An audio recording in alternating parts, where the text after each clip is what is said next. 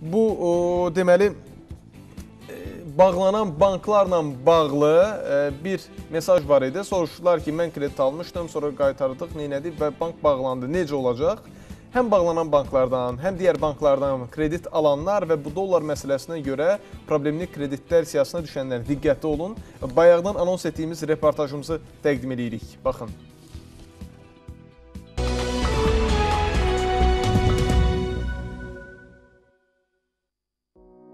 Problemli kreditlərin həlli ilə bağlı proseslərin icrası davam edir. Lakin bu məsələ ilə bağlı vətəndaşlara müəmmalı qalan məsələlər də var. Belə ki, problemli krediti olan bəzi vətəndaşlar elektron axtarış sistemində öz adlarına rast gəlmirlər. Səbəb isə Palata tərəfindən hal-hazırda işlər aparılır. Həmin fiziki şəxslər barədə ümumi siyahı Maliyyə Bazarlarına Nəzarət Palatası tərəfindən 45 gün ərzində artıq hazırlanıb e, Maliyyə Nazirinə təqdim olunmalıdır. Bu isə o deməkdir ki, qısa müddət ərzində həmin şəxslər də öz məlumatlarını elektron portaldan əldə edə biləcəklər. Bəzi hallarda isə güzəşt siyahısında vətəndaşın adı göstərilsə də, məlumatlarda ziddiyyət olur. Kredit borcu və cərimələri əks etdirən rəqəmlər bank sənədləri ilə üst-üstə düşmür. Məsələn, ə, mərkəzləşmiş kredit reyestrində həmin vətəndaşın 5000 dollar kredit götürməsi və ya borcun olması ilə bağlı məlumat var, amma bankın özündə hə, həmin vətəndaşın borcunun 5000 do 5000 dollar deyil, 6 və ya 7000 dollar olması göstərir. Bütün bu kimi halların aradan qaldırılması üçün hazırda dəqiqləşdirmələr aparılır. Həqiqətən sənədlərlə FİMSA azdakı məlumatlar arasında ziddiyyətlər aşkarlanarsa, bu hal aradan qaldırılacaq. Rəqəmlər üst-üstə düşmədiyinə görə palat tərəfindən dəqiqləşdirmə aparılır və dəqiqləşdirmə aparıldıqdan sonra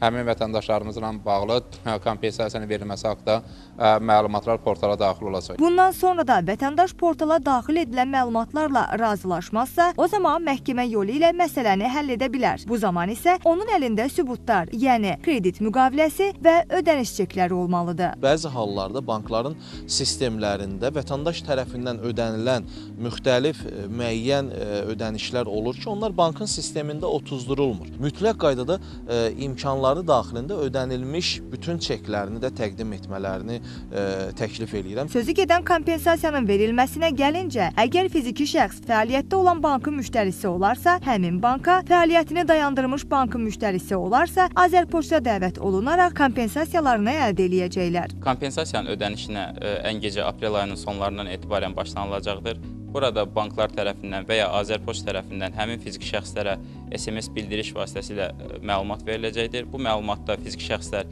dəvət olunacağı ünvan, tarix və zəruri sənədlər qeyd olunacaqdır. Verilən təklifləri düzgün dəyərləndirib sözü gedən prosesi sona qədər izləyin. Əgər prosesdə sizə qaranlıq qalan məsələlər olarsa, Maliyyə Bazarlarına Nəzarət Palatasının 966-cı qaynar xəttinə də müraciət eləyə bilərsiniz.